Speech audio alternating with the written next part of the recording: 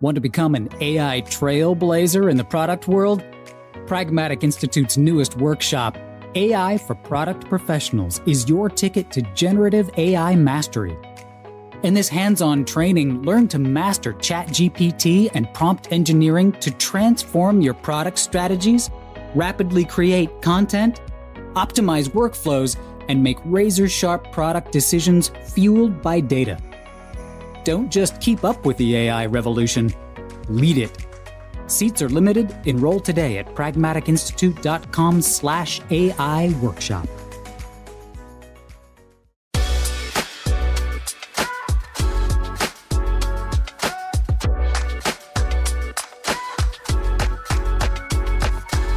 Hello, and welcome to the Pragmatic Product Chat series, where we tackle the biggest challenges facing today's product management, product marketing, and other market and data driven professionals with some of the best minds in the industry. I'm Rebecca Kalogeris for Pragmatic Institute and your host for this episode. And today I'm very excited. We have a repeat attendee to our show who's been on here previously, but was interviewed by someone else. And that is Isaac Lien, co founder, chief artificial intelligence and innovation officer at GrandPad. Welcome, Isaac.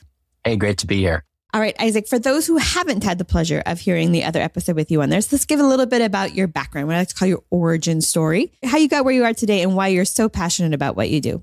Yeah, so kind of my origin in the technology space and in building products started when I was uh, pretty young. I was very inspired by Steve Jobs, seeing him, you know, announce all the new versions of iPods. And when the iPhone was announced, I was just enthralled by it, fascinated by it. So when I was, I believe 12 is when the App Store came out originally. And I had one of the first apps in the App Store. It was a simple app for children to learn their basic multiplication, division, addition, subtraction, all their math facts. So it was the first math flashcards app on the iPhone in the App Store. It was featured in Apple stores worldwide, which was kind of the coolest thing, probably still that's maybe ever happened to me. Um, and that really, that really, um, you know, showed me the, the power of technology for, you know, improving people's lives. In that case, it was the idea was parents, you know, could hand their phone to their kids and they could help them learn. But fast forwarding, you know, to what we do today, there's, there's a connection to kind of my passion for technology that, that empowers people. Moving forward from that, you know, I was studying computer science at Chapman University at the time that my dad, uh, Scott Lien and I had the idea for what became GrandPad. And that was the challenges we had in our own life was our family was all out on the West Coast in Southern California all my grandparents were in small towns in Iowa where they had lived their whole lives. And it was very hard for us to just do a phone call with them. Uh, mm. My grandma had severe hearing loss. We did a phone call with her. She couldn't hear. And it was, it was a neurological perception issue. It was not something that hearing aids could fix. So the sound would get scrambled kind of coming into when she was hearing it. So the only way she could really communicate was if she could read lips. We tried to do video calls with Skype on her desktop at the time. That was too hard for her because we might write down instructions for her, but then Skype would update or her computer mm. would update and those mm. instructions that were printed out and she could follow would become out of date very quickly. So we ended up designing what became GrandPad. We just made a simple way for her to tap on an Android device or on a tablet, press a button, it would video call us. We could answer and it worked great for her. She didn't have the frustration she had before with technology, which showed us, okay, if we can make the technology sufficiently seamless, then people like my grandma, who was actually very hesitant towards using technology, they didn't think of it as kind of technology anymore. It was just a mm. way to, to talk with her grandson or her, her, her children. So that was kind of the unlock and that led us to where we are today. We founded GrandPad just over 10 years ago now. We have users across the US and around the world and we've touched lives of over a million people who have connected to our platform. I love that story. And I also, I mean, I think that's one of the things like when you talked to Diane previously on the show, it was really about just how grounded GrandPad is in market research and understanding your personas, not just your specific grandma, but sort of the the older population and the and the use of technology and how that really differentiates what you built. And like you said, what it really enables them to do is stop thinking of it as that as technology and just start of thinking of it as a way to communicate, as a helpful device, no longer that sort of barrier. And since you've been on here, there's been uh, some really interesting developments, not just at your company, but overall as we think about technology here. And that, and by that, I mean like the, the rise of generative AI. AI is not new, but certainly we see it in a different way, in a different level of accessibilities. And I think what's a really interesting case study is that how you incorporate the sort of latest innovation and technology while staying really, really grounded in an understanding of your market. Because for me, and this again, this was my own limit of thinking, I wouldn't have gone first to the senior market when I was thinking about how to leverage the latest technology. But that is, as in fact, something that you guys have done and just released and some new stuff. So talk to me a little bit about how that AI journey came about and how you were able to leverage like this latest, coolest techie technology for your core market. Yeah. So AI and, you know, being able to talk with computers in a very conversive, natural, human like way has been something I've actually been excited about since I was maybe 14 or 15 years old. I remember my high school computer science project was I made a chatbot where you could chat with the computer and it, you know, I did everything I could using every trick I could to make it feel very lifelike. It wasn't really AI, but it was kind of using tricks to, to make it sound interesting. And you could have kind of a conversation with this that was, gosh, how, how uh, 15 plus years ago now. But since then, you know, we've always wanted on GrandPad to have it be as seamless and mm-hmm. accessible mm-hmm. to our users as possible. We wanted to, you know, someone to be able to just pick it up. We have something called the 90-90 design goal where a 90 year old should be able to love and use GrandPad within 90 seconds. Mm. And that means it needs to be very intuitive. So we've been looking at this kind of conversive interface for a long time, even since the beginning of our company you know, many years ago, I remember at CES, maybe eight or nine years ago, it was voice assistants was the big thing. Google and Alexa assistants were in mm. every product. You know, you had the toaster you could talk to with, with Alexa and, and all these things. And, you know, we had lots of requests for it from, you know, often from the family members who would buy for their parents, say, Hey, can it, you talk with it? Things like that. And we tested adding Alexa, Google Assistant onto GrandPad. We tested our own assistant product that we, we made where we made our own voice assistant. And we ran into a lot of challenges. There's kind of two main challenges that we saw that made us decide to not launch this product. The first was the speech to text recognition. So just being able to talk and the, you know, machine being able to recognize what the user's saying. The technology was not good enough. It was hmm. maybe 97% accurate. Google's had some very good models for years. But the problem is that 3%, let's say, you know, you speak roughly 100 words, it gets three words wrong that actually causes a lot of problems. It's yeah. very hard to fix mistakes, especially when some of our users have accessibility challenges where, mm. you know, scrolling back over, typing in an on-screen keyboard to fix a mistake. That's very hard. And it's frustrating when you're sending an email to your son or you're trying to, you know, do something on GrandPad and it gets it wrong. You don't have a good way to fix it. And there was an AI where it could follow up and say, Hey, did you mean this or that? So that was a blocker. The text, the, the speech recognition was not good enough. Secondly was when you have a voice assistant and the domain of things it can do is, is fairly small, the user actually, it's kind of an unconscious user experience challenge. They need to have a very strong sense of what a voice assistant can and can't do. So I remember one time we tested our voice assistant with a, with an elderly user who had never used any Alexa or Google Assistant or Siri. We said, Hey, this is a voice assistant. You just say, Hey, grandpad, and you can ask it anything. And I remember we put it down and she said, Hey, grandpad, bring me a cup of coffee. right? The instruction, and the thing is, right? We were the ones who were stupid because we told her, ask it anything, yep. right? And she asked it anything. But, you know, she didn't know, oh, well, maybe it could do Uber Eats if I have an Uber account attached to this or that, right? You need a huge kind of paradigm. Mm. But that's all transparent. And that's something we don't all think about. People think, oh, yeah, an Alexa, just put an Alexa and, you know, 105 year old house, someone who has, you know, has never used a computer, it's, it's not going to be the end all be all. Maybe it's helpful for, for things like weather or lights, which is what most people use them for anyway, myself included. So that was our journey. But fast forwarding to 2019, I was playing around with uh, GPT-2 at the time, which was amazing. It kind of was in this uncanny valley situation where you could see the potential. It could do amazing things, but it would really go off and hallucinate on tangents or get things wrong in a big way where, you know, there was no product to be built on it in any reliable way, mm-hmm. but the promise was there. So then, you know, of course, ChatGPT was released in November 2022, and that really kind of was like a bomb that dropped on uh, the whole world, but especially the technology space where we saw, wow, the model, the large language model is really kind of ready for prime time. it's extremely capable and there's a lot of promise. So when that came out, we immediately you know, tested, played with it, saw the potential, and we started going through, okay, what can we start to build that impacts our company, that, that can help our users? I'm happy to dive more into that, but that's kind of the journey up till when we started to, you know, to build something on top of these tools. It's great. It's great to see sort of how the the thinking has always been there, the testing, but you had to wait till the technology was there and reliable enough to really put it into the systems. And I think that I think that's how a lot of us feel about some of the generative AI stuff, right? We know it's not new new, but it's so much more accessible and it's so much more solid than it had been. When we talked about this before, one of the things that I found super interesting was that you were talking about that one of the things that sets AI apart is that it's very user directed, right? Meaning that how it works and what it does is really defined by the user and how that changes how you think about putting it into your product. And I just think that's super interesting. So I would love to dig in sort of how did that aspect of generative AI affect how you built it and and how you market it? Yeah. So back to that kind of challenge I mentioned around when you have a, an open-ended product where you can just talk with it, the user needs to have some kind of context of what they, they can and hmm. cannot do. So when we first, you know, tested and to share more about what we have launched. So recently, uh, last month, we launched to the world. It's now available when you buy GrandPad from us, Grandy. So Grandy is a virtual assistant who you can chat with anytime on your GrandPad. It's a cute little blue owl character who's there to, to chat and you can just have a conversation with it. And it's, it is more of a character than something like a ChatGPT. If you ask ChatGPT, Hey, how's your day? ChatGPT will say, I'm a large language model. I have no, you know, emotions. Grandy is a character. It has a, you know, a background and a life that it kind of lives and you can chat with it about that.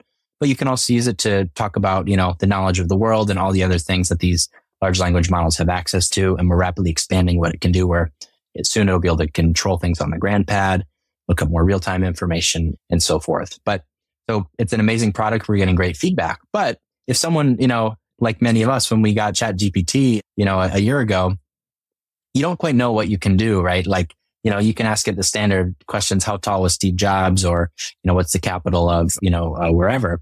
But until you start unlocking and saying, Oh, I can ask it really long questions or really complicated mm-hmm. kind of multi-factored questions for our users, right? Just like all of us, you know, they're, they're learning along at the same time with us. Maybe they have less experience with technology.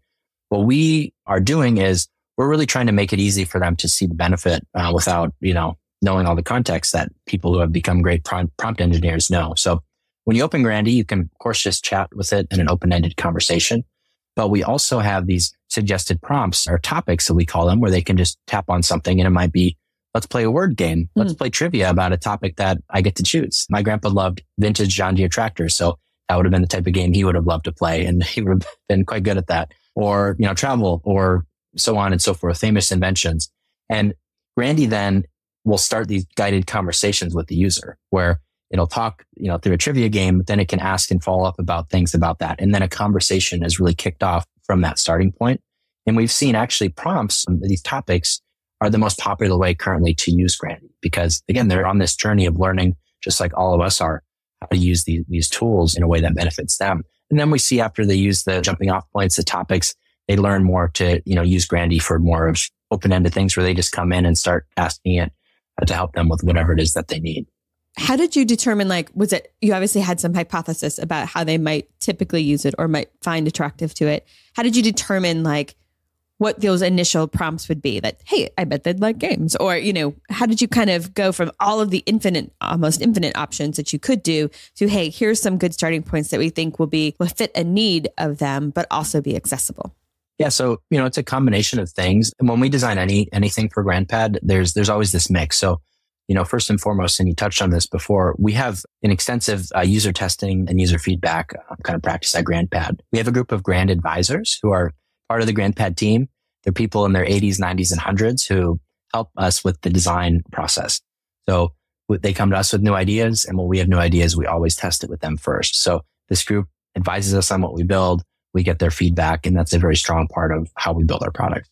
Also, we have data, so we can see, you know, on the GrandPad what games are most popular. Mm. We, we know that games are extremely popular with our users. People will spend some cases hours uh, per day playing, you know, uh, cognitive fitness games. And, and we see that and we can say, okay, well, we can, you know, incorporate those into Grandy. We also have different news topics and articles and we can see what's popular there and use that for Grandy. And then finally is there's sometimes things that Grandy enables that wasn't even possible before. So that might just be us, you know, taking a hypothesis and saying, Hey, we're going to you know, come up with this really cool new prompt idea. One that we're working on here now is kind of a kind of like an escape room type game where Ooh. basically it's like kind of solving a, a, mystery and it's dynamically generated mystery and there'll be clues and you can just talk with Grandy kind of back and forth in this kind of adventure style game. So that's something that, you know, we couldn't have built before that's enabled. And we'll test that and see, you know, do people like that or not? And the amazing thing with large language model tools is they allow a, a level of rapid testing, right? Mm-hmm. To, to make something like that, this adventure game, we can do that very quickly and test it and get feedback very quickly. It won't take months and months of, of development time as it might have, you know,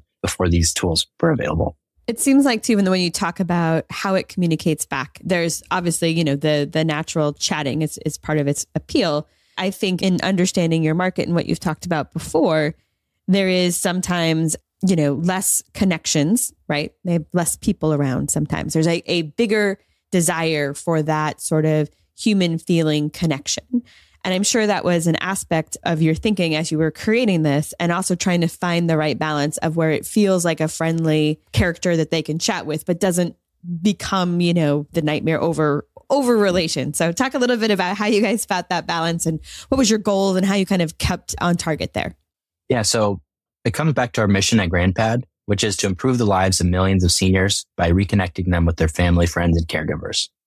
So I'll importantly note that in that mission, it doesn't talk about technology or tablets mm-hmm, or AI mm-hmm. or anything like that, right? That happens to be our skill set. And that's, those are some of the tools that we use to, you know, achieve this mission. And with AI and generative AI, it's all the same in terms of what our job to do is, you know, we're technology people, we're designers. We want to use our skills to bring the benefits of technology and the ways that technology can connect families and older people. We want to take those benefits and deliver them to, to our users. So with AI, we take that same approach and we want Grandy to be a tool that helps connect families even more. So, you know, Grandy can help encourage the user to, to try things on GrandPad, to, to call people, or, you know, maybe they've never sent a voice email to their whole family. It can encourage them to do that, for example. But at the same time, per, per what you mentioned, loneliness is a huge challenge. And mm. there are people who don't have family who, you know, who's in the picture or people like my grandma, my grandma on my mom's side, she had 10 kids. She had over 30 grandkids, over 30 great grandkids. She had a very, huge family, people who lived very close. But after my grandpa, her husband passed away, her nights were very lonely. Mm. She lived independently in her home and she'd be lying awake at 3 a.m. And, you know, she's not going to call her kids. She doesn't want to bother them or her grandkids. She's in, you know, in the house alone where her husband had, had been for, you know, they married over 50 years. So in the past, she would open GrandPad and she would look at some of the videos of her grandkids, things like that. But, you know, now something like Grandy, you could at least chat with Grandy and, you know, we're not, there was not going to be human connection for her, mm-hmm. you know, yeah. awake at night at 3 a.m. Right. But at least you could chat and use it like a virtual journal where you just say, Hey, here's how I'm feeling. And Grandy will just be an empathetic ear. So we see cases like that as being very beneficial for people. Another use case also, you know, we have some users where they are connected with their family, but they have many health issues that they just want to talk about it. It's just venting, right? Mm-hmm. But they, they feel, Hey, when I talk with my, my daughter about this all the time, I know I'm bothering her. I know I'm worrying her. I'm just, you know, I'm having a back issue and she doesn't want to hear about it every day, but I just need to vent about it. Grandy's also great for things like that. Mm-hmm. So we don't want to replace in any case human connections. We want Grandy to encourage and foster those things. But there are times where it's nice to just chat with, you know, with someone or uh, Grandy when you're not replacing some other human connection. Yeah. The other thing, as I was thinking about this when we talked about this, was how do you market Grandy? And, and the, I think about this for a couple of reasons. One, it's a product you're not 100% sure how they'll use, right? So there's there's that. And the other aspect of is for a lot of when we see new products that have a Gen AI component, we talk a lot about the technology. We're like, this takes advantage of Gen AI. And I was like, oh, I know what that means. This is exciting. Right. But for this audience, there isn't that same sort of necessarily clarity or familiarity or excitement about the tech itself. So how how do you bring that to market? How do you make it really resonate with them what this will offer? Yeah. So in terms of how we market this product, which uses generative AI, we're big fans of Simon Sinek and he talks about the start with why. So, mm-hmm. you know, when you're, when you're talking about a product or a service or something, right? You tell them why it's important first, and then you work your way out until, you know, the how and the what of what it actually is. And same with our core product, the GrandPad tablet. If you go to our site, you're not going to see us talking about, you know, uh, what's the gigahertz uh, on the, the Wi-Fi connection and how many megabytes and et cetera, because it does not matter for what we're doing. What we're doing is connecting families, letting you share photos, doing a video call, providing a complete seamless user experience you know, people want to, you know, ask us on live chat about those things, the, you know, the tech savvy uh, kids buying it as a gift. We're happy to talk through those things, but that's not the benefit. That's not what we start with. So with Grandy, it's the same. Grandy is a way to access the world's information, to explore your hobbies and passions, to have fun back and forth chats and banter, to hear jokes of the day, to, you know, learn more about your grandpad.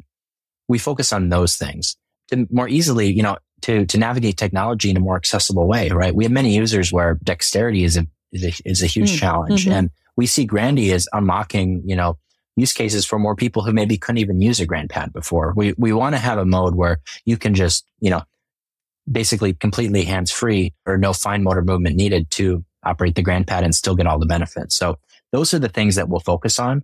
We're not going to talk about AI or LLMs or Gen AI, things like that, because that's not what, what people come to us for. They come to us for solutions to connect with their family, to connect with caregivers. Excellent. So as you as you guys go forward, I know you just launched it recently, but I also know one of the things you did with GrandPad and one of the things I know you're planning on doing this is sort of iterate, right? Continue to watch and evolve the offering in this space. How do you guys approach that? How do you get the feedback you know and how do you know when you've got feedback to test something different? Yeah, so the feedback loop is very important and it's pretty interesting because Gen AI is, you know, is moving so fast. You know, we kind of had a even around the last 10 years, we've kind of had a more, more or less stable situation in terms of kind of mobile, the tools, the technologies, the platforms. Nothing has really been shifting in any big way, right? It's been pretty iterative. Now with Gen AI, things are moving so fast where you need to be following this industry, you know, week to week if you're operating in it and seeing the new things coming out. And there's a lot of, you know, shiny objects yeah. that could be chased. And in some cases, you know, maybe should be chased. And it requires a little of discipline and curiosity kind of in balance. So you know, we've set an AI focused team around this where we have kind of all the resources needed to, to build on this. And the reason we've done that is, like I said, because it's moving so fast, we need everyone on the team to be very up to speed on all the technologies, have, you know, a level of depth with all the tools we're using and the, the ability and capability to do lots of research around new things. Every week we're researching new things, say, oh, there's this new thing announced that allows like real time instantaneous, you know, voice conversations with an AI. We test it out. We see if it's possible. We see how it actually performs in, in practice. So we're testing lots of things internally to see if we can see the benefit. Mm-hmm. Because sometimes, right, it's, it's not about the, what the users are asking for. It's about we see some new thing that the technology enables and we can go build it and then test it. Sometimes it's, you know, with Grandy, right, we get user requests where we have user feedback sessions with our Grand advisors and, and our customers. We can incorporate those things into it as well. So it's watching all those you know, watching on all those areas and then having the, the discipline to say, okay, we've looked at, you know, thing, new technologies we can build. We're seeing what people are doing with the data. We're seeing what we're requesting and then having the discipline to choose, okay, well, these are the things that we see having the highest impact that we can build quickly and then kind of attacking those new features and kind of just continually doing that. And we're trying to move as fast as possible. And we're moving quite fast in this space while maintaining a level of, you know, the same security practices we have throughout the GrandPad platform the, the, you know, extensive QA and safety layers that we, we have in place. So it's, it's balancing all those, all those things together. It's got to be a pretty exciting time though. Oh, it's extremely exciting. I mean, for me, like I said, you know, I was excited and ecstatic with the original iPhone release and, and the App Store. That was, that was huge. This is the next, next time I, I felt like that where the future is so wide open and, and so exciting. And there's just so many new things to be built, right? You know, the iPhone enabled things we couldn't have imagined, right? Uber, for example, right? We didn't think it would revolutionize kind of car, the way we use cars and taxis and AI. There's going to be all these use cases, which, you know, we can't conceive now or those who can conceive them will, will be very uh, su- successful over the next 10 years. So yeah, it's, it's extremely exciting times and it's fun to just watch it unfold and to also be a part of it unfolding. Yeah. I bet it's really fun to watch as well. Watch you guys continue to evolve. It's such a strong mission that you have. It's fun to see how you continue to to build on that and serve the market. All right. So we've got lots of people listening in that tech space and lots of people I think who have either who are in some level of thinking about or currently doing this sort of how do I how do I make generative AI makes sense for my product and my market. And we talked about lots of different things, lots of different things you were doing. But if you were going to give two pieces of advice, if you're going to have listeners do two things differently tomorrow based on what we talked about today, what would that be? Yeah. So the first thing I would I would recommend everyone to do who has an interest, and I think lots of people probably should uh, have an interest in this space, is you should be using you know generative AI tools in your life every day, you know, as much as you can, and really remind yourself it. You know, I was using a lot in the beginning, but it took me consciously saying, okay, I'm gonna like when I have some task or problem I need to solve, I will go to these tools first. And now, I'm using GPT four. I, you know, as my kind of go-to. Claude three, I've been testing as well. I always go to that and I use that as my first sheet and I say, can AI help me do this faster, better, mm-hmm. um, et cetera? And in many cases, the answer is yes. That's what I do. If it can, then I, you know, go do it the kind of traditional way. But I looked at these tools first, at least as a starting point or first draft. And the other thing that ties into that is that's been a huge unlock for me is using, you know, the chat GPT app on your iPhone, the voice transcription is they, they have their whisper uh, API that or their mm. whisper platform they use for, or for the voice transcription. It's incredibly accurate. It's 99 plus percent accurate. It's like human level accuracy. So you can just talk with it and have natural conversations with it and have a rambling, you know, I'll say, say I need to make some project plan kind of draft. I'll talk kind of off the cuff for two and a half minutes and um and on thinking about this and that. It's incredible at taking all that and, you know, hearing it correctly and then putting great output. Mm. So the voice is a huge unlock. Typing, you know, it's actually, we can, we can think more kind of extemporaneously while speaking. So doing that is a huge unlock that's been extremely useful for me. And the other thing is just diving more deeply into kind of understanding how the technologies work, because doing that helps you kind of see where the ball is, is, is going a little bit more, where you can kind of understand the nature of how these technologies will improve, what things will improve them.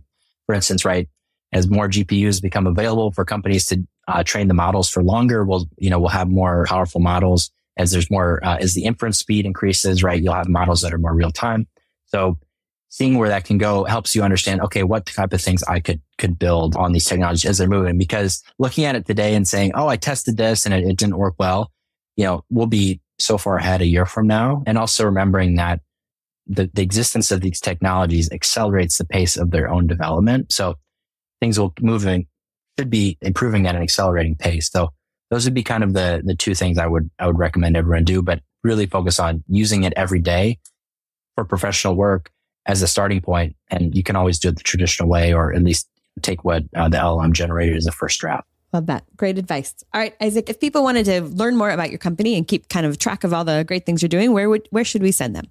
Yeah, so you can learn more about Grandy, uh, which we just released at grandy.ai.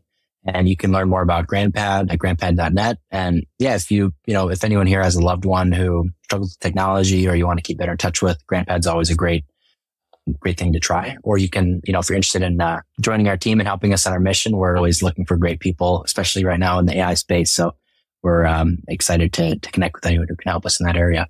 Awesome. All right, Isaac, it was, as always, just absolutely wonderful to have you on. I appreciate you coming on.